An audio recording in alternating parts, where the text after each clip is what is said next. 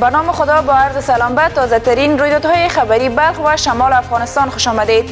امروز چهارشنبه 13 حمل سال 1399 خورشیدی که برابر می شود به یک اپریل سال 2020 میلادی. در آغاز سرخط خبرها. قرنطین شدن بخش های از شهر مزار شریف به دلیل پیشگیری از ویروس کرونا. ما امروز تقریبا مرحله دوم قرنطین در ولایت بلخ می‌خواهیم رسما آغاز بکنیم. تجلیل سیزده بدر زیر سایه ویروس کرونا در شهر مزار شریف. همه فارسی زبان های جهان این سال بسیار بانکو جشن تجلیل می‌کنن و یکی از این جشن ها هم در افغانستان برپا میشه.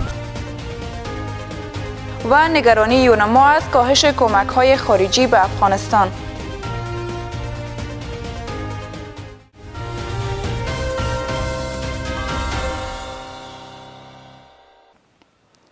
مشروع خبرها. قرنطینه ساختن شهر مزار شریف از سوی مقامات محلی رسما آغاز گردید. در نخستین اقدام مارکت های شهر به استثنای مراکز که مواد خوراکی و لوازم بهداشتی در آن به فروش می رسد مسدود می شود فرمانده امنیه بلخ می گوید افرادی که در برابر روند قرنطین بی‌تفاوتی نشان دهند به نهادهای عدلی و قضایی معرفی خواهند شد.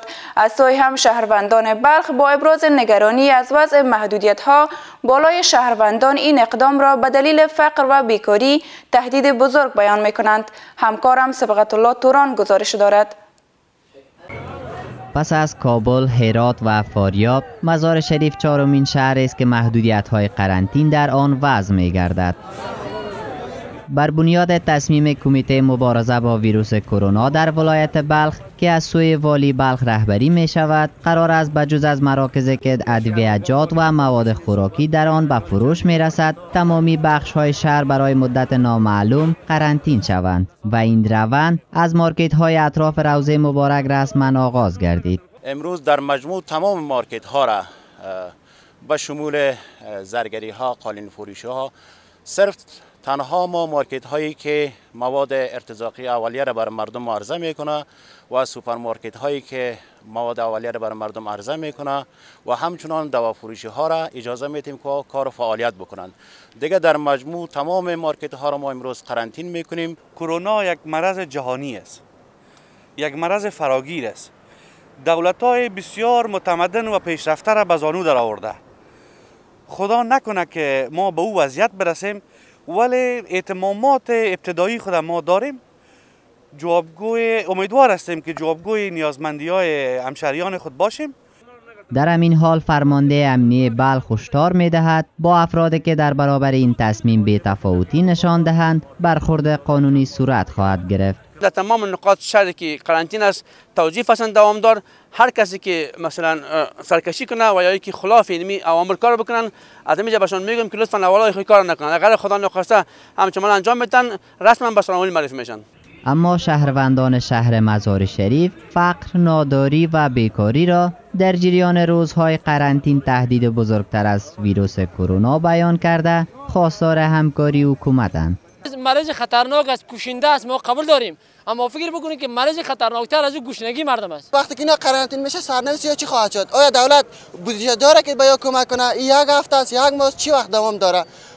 پیام ما از تجارت هم است که لطفا خواهش کنن که نرخ را پایین بره. فکر کنید یک بوجه در میان 800 افغانی است در همین حال افضل عدید رئیس شورای ولایتی بلخ از تلاش ها برای کمک به افراد نیازمند در ایام قرنطین سخن می‌زند. حدود 5000 خانواده غریب را تجار ملی حاضر است که در ولایت بلخ یک پیام خوب است که گفتند که ما می‌خواهیم اینا را برش کمک غذایی و سایر مواردی که در تا مراحل آخری که قرنطین ادامه پیدا می‌کنه ما برش کمک ها را در نظر می‌گیریم. هرچند از قرنطین شدن ولایت های هرات و کابل چند روز میگذرد اما تا اکنون از سوی شهروندان به گونه جدی در نظر گرفتن نشده است. با همه شهروندان تهدیدهای ویروس کووید 19 را جدی می‌دانند اما می‌گویند به دلیل فقر و ناداری مجبور هستند که کار کنند. دیده شود که آیا مقام های مسئول در بلخ می توانند به گونه کامل شهر مزار شریف را قرنطین کنند و یا هم مردم برای پیدا کردن لقمنان راهی شهر می شوند و این مورد را در نظر نمی گیرند گذشت زمان پاسخ خواهد داد.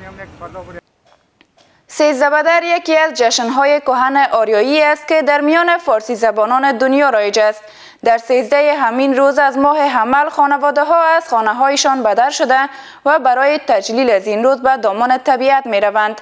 امسال در مزار شریف حتی ویروس کرونا مانی این رسم شده نتوانست و شهروندان مزار این روز را با رفتن به آغوش طبیعت گرامی داشتند. ظاهرا دغدغه های ویروس کرونا بالای مردم شهر مزار شریف تاثیر چندان نداشته امروز که سیزدهم حمل است و مصادف می شود به سیزده بدر و سبزلگت موج عظیم از مردم شهر مزار شریف اینجا در دشت شادیان آمدن و زیروز تجلیل می کنند سیزده بدر جشن که پیشینه تاریخی دارد و در سیزدهمین روز ماه حمل تجلیل می شود در این روز نه از قرنطین خبر هست و نه از ویروس کرونا. همه روان دشتند تا این روز را گرامی بدارند. باشنده های مزار شریف می گویند به دلیل این که در مزار شریف رقم مبتلایان به ویروس کرونا در سطح خیلی ها پایین قرار دارد قابل نگرانی نیست و خواستند به بدر شدن از خانه هایشان این روز را تجلیل کنند. هر سال تجلیل می‌کنیم سیزده بدره. این سال هم خوش هستیم از اینکه همشهری های ما آمده اینجا چکر می‌زنه. کرولا به اندازه از این نیست. که مردم تبلیغات می‌کنن. مرال مردم ضعیف می‌کنن. کرونا یک پدیده ای هست که در سراسر جهان چی شده؟ مردم ها را فراگیر ساخته و در ضمن تبلیغات بیخی مردم زیر برده. ما می‌خواهیم که در ضد کرونا عمل کنیم. همه فارسی زبان های جهان این سال بسیار با جشن تجلیل می‌کنن و یکی از این جشن ها هم در افغانستان برپا میشه بسیار با شکوه برپا میشه و متاسفانه در این اواخر موضوعات ویروس کرونا که بود یک ذره جشن ها در همه ولایات بخصوص در ولایت بلخ کمی کمرنگ بودند خانواده ها در مزار شریف در حال توصیه های دکتران را نادیده گرفته به دشت سر زدند که همین امروز بخش های از شهر مزار شریف به دلیل جلوگیری از شیوع ویروس کرونا قرنطین گردید. ادامه خبرها را بعد از یک میان برنامه کوتاه دنبال نمایید.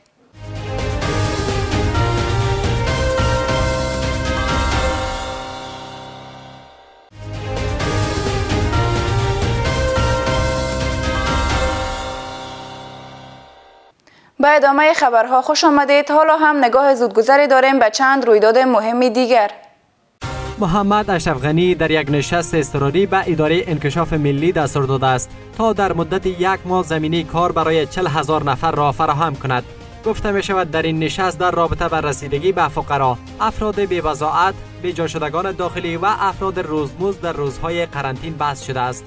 محمد اشرف در این دیدار به اعضای کمیته استرار جلوگیری از شیوه ویروس کرونا هدایت داده است تا در زمینه فراهم کردن گندم به این افراد طرحی را ترتیب کنند. امور اجرای این طرح به امرالله صالح سپرده شده است. این در حالی است که وزارت صحت عامه افغانستان اعلام کرد در 24 ساعت گذشته 22 مورد مثبت تازه ویروس کرونا در کشور ثبت شد که با ثبت این موارد آمار مجموعی مبتلایان به ویروس کرونا در کشور به 196 نفر رسید. هیئت معاونت سازمان ملل در افغانستان یا یوناما می‌گوید که کاهش کمک های خارجی به افغانستان می تواند عواقب شدیدی برای وضعیت مالی این کشور داشته باشد. معاون یوناما گفته است که بی سرنوشتی سیاسی تأخیر در آغاز روند صلح خشونت روزافزون و گسترش ویروس کرونا وضعیت را برای مردم افغانستان بحرانی ساخت. او افزوده است که بحران ناشی از انتخابات هنوز پابرجاست و این بحران سبب نگرانی جدی در میان مردم و کشورهای جهان شده است. و همچنان تاکید کرده است که با در نظر داشت اینکه افغانستان به کمک های خارجی متکی است. کاهش این کمک ها می تواند عواقب شدیدی برای وضعیت مالی افغانستان داشته باشد.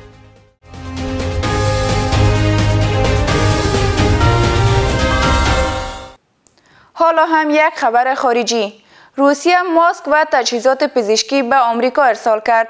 وزارت دفاع روسیه از پرواز یک فروند هواپیمای حامل ماسک و تجهیزات پزشکی این کشور با آمریکا در صبح چهارشنبه اول آوریل خبر داد.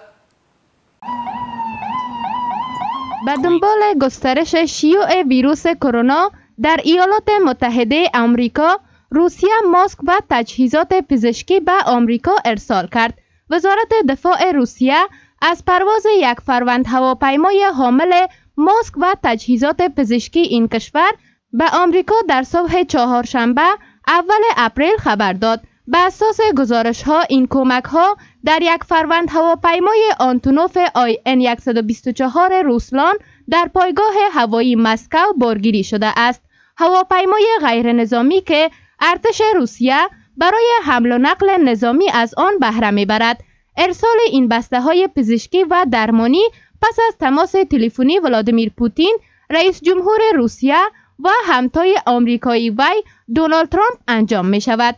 رؤسای جمهور آمریکا و روسیه در تماس تلفنی روز دوشنبه خود درباره همکاری مشترک برای مقابله با شیوع بیشتر ویروس همگیر کرونا گفتگو کرده بودند. در بیانیه کرملین آمده است که این تماس تلفنی با پیشقدمی واشنگتن صورت گرفت.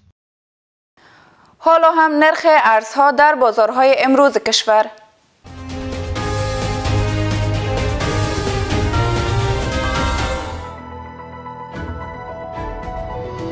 یک دلار امریکایی 76 افغانی و 50 پول. یک یورو واحد پولی اروپا 84 افغانی و 20 پول.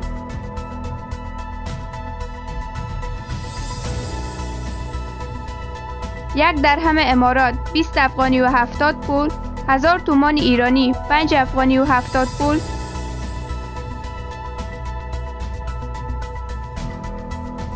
هزار روپی هندی 1070 افغانی و هزار کلدار پاکستانی 485 افغانی.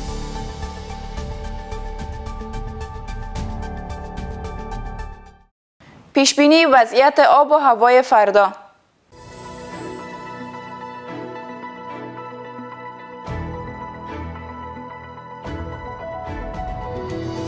مزار شریف نیمه ابری بلندترین درجه حرارت 22 پایینترین 13 کابل نیمه ابری بلندترین درجه حرارت 17 پایینترین 4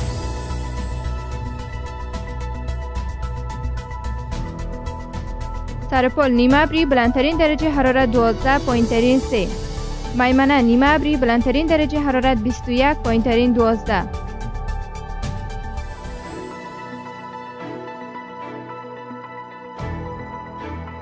فیضآباد آفتابی بلندترین درجه حرارت 18 پایینترین 6 سالخان آفتابی بلندترین درجه حرارت 21 پایینترین 9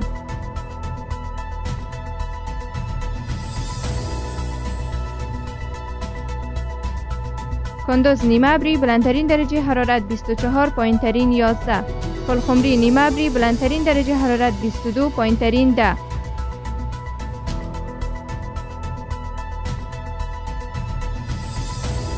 شبرغان نیمه ابری بلندترین درجه حرارت 22 پایینترین 13 و ایبک نیمه ابری بلندترین درجه حرارت 20 پایینترین 10